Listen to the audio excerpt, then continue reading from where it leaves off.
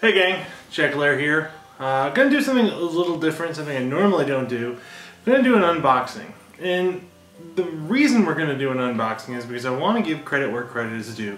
And the company that makes this box is truly one of the exceptions out there that's still doing it right. According to me, from when I was buying a whole lot of games 20 years ago.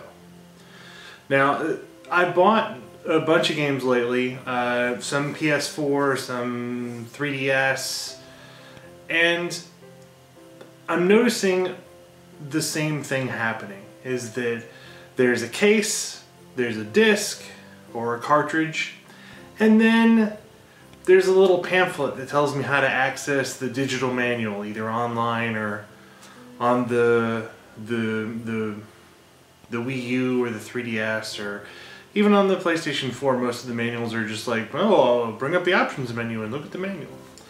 And there's a, there's a company out there that's doing it right, still. And that company is Blizzard. Now, we're not going to talk about the game that you're probably thinking about. We're going to talk about the starters box, the starter edition for Heroes of the Storm. Now, if you don't know what Heroes of the Storm is, uh, it's a multiplayer online battle arena or a MOBA, uh, which is was kind of started, at least what most people consider it started, was uh, during Warcraft 3, which then had Dota, which is Defense of the Ancients. Now, a bunch of acronyms I just threw out at you. Do you need to remember them? No. Because what we're looking at is, we're just looking at the box. We don't care about the game.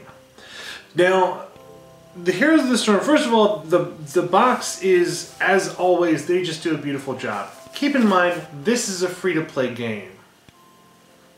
So this box really doesn't matter. But what it does is it gives you some of the characters quicker, and it has just some amazing details, and we're going to go through them real quick. So come a little closer and let's let's take a look. All right, so we're looking at the box, and one of the things that I don't know if you'll be able to see, there's a good shot, you can see it right there, is that these are raised letters.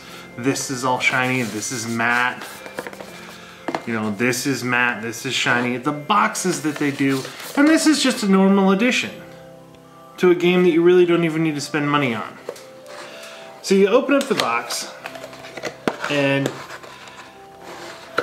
got the tray. I'm gonna pull the tray out and set it over here. We'll get to that in a minute. But I want to look. I want to look on the inside. And you, can you see all that? Now that runs all throughout the inside there of the box. So there are all kinds of hexagons in there. Imagine, now this, this is a part of the box that most people will never look at and they spent the time to make that look cool. So we're starting it off. Here's the most useless part of this entire thing. This is a Heroes of the Storm disc. Comes in a little sleeve. You're gonna download the game anyways. It downloads right on the browser. This is just to save people some bandwidth. Uh, so if you have uh, either crappy internet or you have bandwidth caps, this gives you a good jump start on getting it downloaded and then you can just patch it up from there. There is a quick start guide. And this is actually kind of cool because it gives you just a little bit of text, some pictures, and of course the obligatory warning that this game will give you seizures. Now, the game says that it includes a bunch of things. And I want to do this kind of in a weird order, but we'll start with the things that are there. They became obsolete uh, shortly after the well, two of them did. So there's this is a World of Warcraft, and all these codes are used, so it doesn't matter, except for one, which I'll mention later. Uh, this is the guest pass for World of Warcraft. So what you used to do, is you used to get this and you say, oh, I, want to try World of Warcraft, I like this game, and you could go ahead and try it that one. This is a guest pass of Wings of Liberty. Now since the, before this was actually released, or maybe since then, these are, they've given it to where they just give you a free trial of the first level or so, or the first couple levels. And then of course there was a, a free card pack in Hearthstone. So right away, you got a free pack in Hearthstone, which is worth about a buck. Uh, this whole thing is $20, by the way, or it was when I bought it. You can find it cheaper now. I think the cheapest I saw it was uh, 16 uh, and that was on at Target, I believe. It might have been might have been cheaper elsewhere, but so these are, and these are, you know, these are still the the shiny part and the not shiny part, and they're good card stock.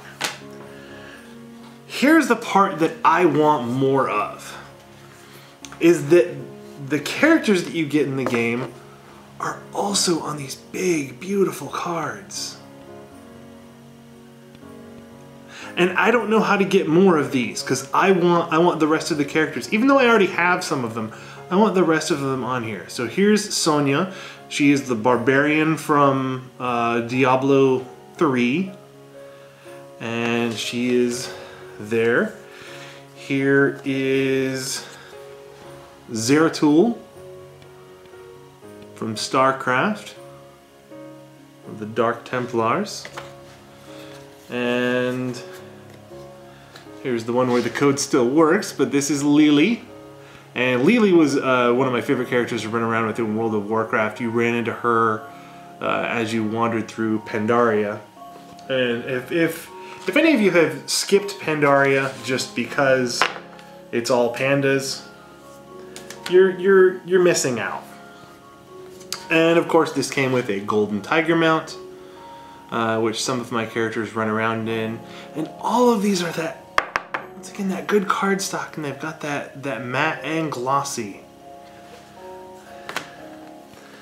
And then Jaina Proudmoore, who is from World of Warcraft and from Warcraft 3. I don't remember if she was around in 2 or if it was one of her parents. And there is Zagara, who was introduced in Heart of the Swarm, I believe. She is a Brood Queen. And then it also gave you the cool uh, Ronin Zeratul skin. So each of these characters get different skins, and then you can change them depending on, and some of them you purchase with in-game currency, some of them you purchase with actual currency, and then there's uh, a few of them that you get through specific things. Like this one, the Ronin thing, I believe only comes with this pack. Now, it's great. So they gave us some pretty pictures. This is what just warms my heart. What is this, you ask? This is this is what we refer to in my day as paper. And for whatever reason, Blizzard games always gave us this. And I don't know why it, but it made me giddy to pull this out and just be like, ah, yes, I have, I have a pad of paper. Will I ever write on it? Probably not. Because it sits here in the box.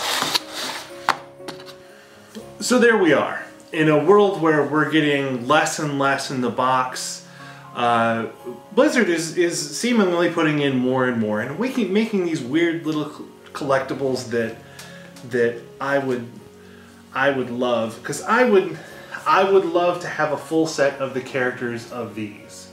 It would just it would be really cool to do. I don't think it's gonna happen, but you never know. Uh, but that is going to do it for me. I would like to thank you all very much for sticking around and watching the video. Uh, I do play Heroes of the Storm every once in a while, so if you see someone called Jakalair running around on there, uh, odds are that's probably me. Uh, but thank you very much for watching, and as always, play on!